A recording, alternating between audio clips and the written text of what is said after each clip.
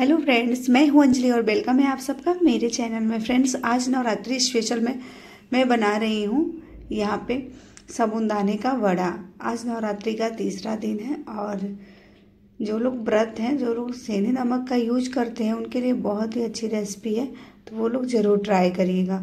अब इन व्रत का भी आप इसे बना के इंजॉय कर सकते हैं, बहुत ही हेल्दी होता है, बच्चों को भी दे सकते हैं।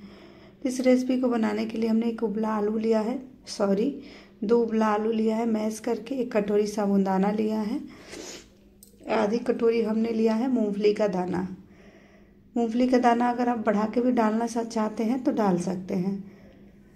तो यहाँ पे दोनों का मेज़रमेंट आप सेम भी रख के बना सकते हैं। तीन से चार हरी मिर्ची, सभी को एक साथ सोटे करना है। साबुनदाना सीखता तो है, पर दिखता नहीं है, क्योंकि वाइट होता है और ये सीखते सीखते हार्ड हो जाएगा।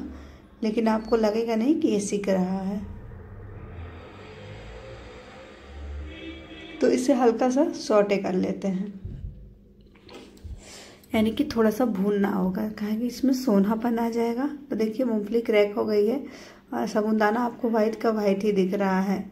लेकिन आपको दिख रहा है ये कैमरे में दिख रहा है। सामने से थोड़ा सा हल्का सा ब्राउन हुआ है।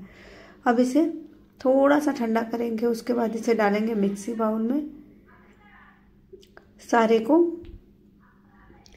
मिक्सी बाउल में ऐड करने के बाद क्या करेंगे, इसको हम बारीक सा पाउडर बनाएँगे।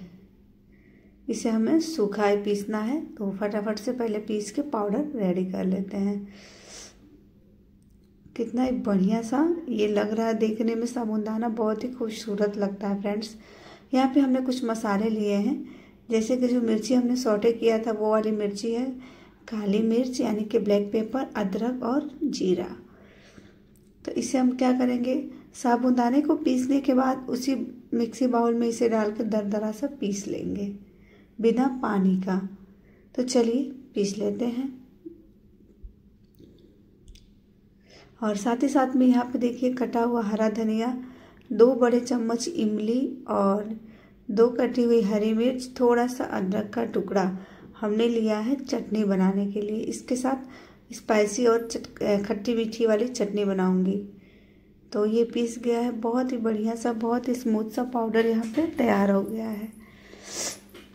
तो अभी चलते इसे बाउल में ट्रांसफ़र करते हैं फ्रेंड्स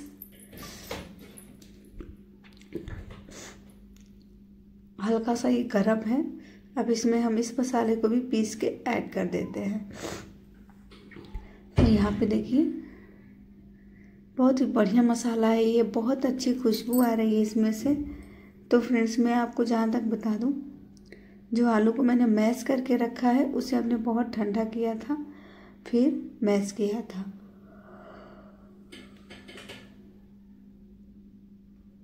आलू भी डाल दिया, धनिया भी डाल दिया, अब सेंधा, नमक भी डाल दिया यानी कि फरहारी नमक। आप रेगुलर के लिए बना रहे तो रेगुलर नमक का यूज़ कर सकते हैं। मसालों का यूज़ कर सकते हैं, जिससे कि ये और चटपटा बने। तो मैं यहाँ व्रत के लिए बना रही हूँ फ्रेंड्स तो यहाँ पे कुछ इस तरीके से हमें इसे गूँथ लेना है।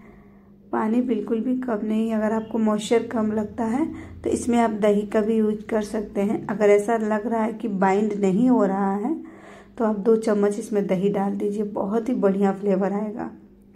तो यहाँ पे अच्छे से ये आलू से ही बाइंड हो जा रहा है, देख सकते हैं यहाँ पे आप। कुछ भी डालने की ज़रूरत नहीं है। तो चलिए नाश्ता बनाना शुरू करते हैं।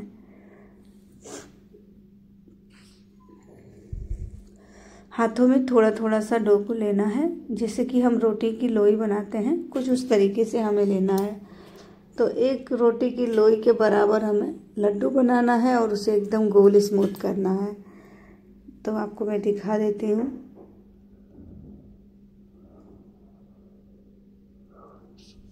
जो भी मसाला आप ऐड करिएगा, फ्रेंड्स, दरदरा पीस के ऐड करेंगे तो देखिए कितना बढ़िया लुक आ रहा है इसका। देखने में कितना खूबसूरत लग रहा है। यहाँ पे इतने सारे लड्डू बन के हमारे तैयार हैं, साबुदाना के। बाकी सारे को बना लेते हैं, फिर गैस के पास चलते हैं। रेसिपी पसंद आए तो लाइक, शेयर, कमेंट करना नहीं भूलिएगा। जितने भी लोग व्रत हैं, आपके घर में, रिलेट, रिलेशन में, सबको शेयर करिएगा इस रेसिपी को। बहुत ही आसान रेसिपी है, बहुत जल्दी बन जाती है। अब इसे हम घी में फ्राई कर लेंगे। आप कुकिंग ऑयल में भी इसे फ्राई कर सकते हैं, जो भी आपके घर अवेलेबल हो। मूंगफली का ऑयल का भी यूज़ कर सकते हैं, मैं तो करती हूँ। तो अभी फ़िलहाल मैं इसे घी में ही फ्राई कर रही हूँ। घी में फ्राई होने से टेस्ट दुगना हो जाता है।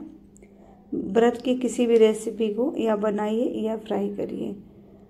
तो ये बहुत ही जल्दी ये सीख जाता है, यानी कि फ्राई हो जाता है, क्योंकि ये साबुदाने का होता है और आलू होता है। तो ये बिल्कुल भी टाइम नहीं लेता है। तो इसे हम कंटिन्यू चलाते हुए एकदम गोल्डन ब्राउन कर लेते हैं। तो ये देखिए कितना ही प्यारा कलर आया है इसका। बहुत ही खूबसूरत लग रहा है हमारा नाश्ता। तो फटाफट से इसे प्लेट में डिश आउट करते हैं और दूसरा बैच ऐड कर लेते हैं।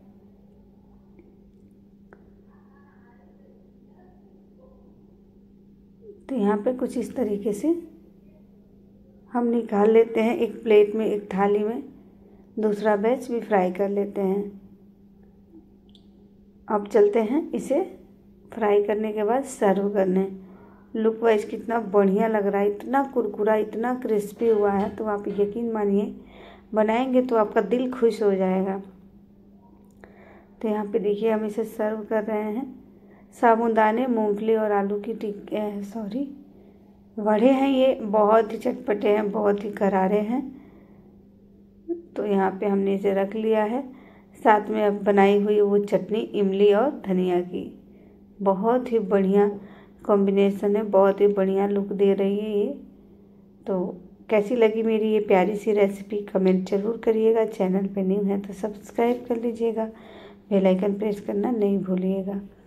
तो मिलती हूँ न्यू वीडियो न्यू रेसिपी के साथ फ्रेंड्स सब तक के लिए आप लोग अपना ख्याल रखिए, स्वस्थ रहिए, मस्त रहिए एंड आप सभी को Take care or bye bye.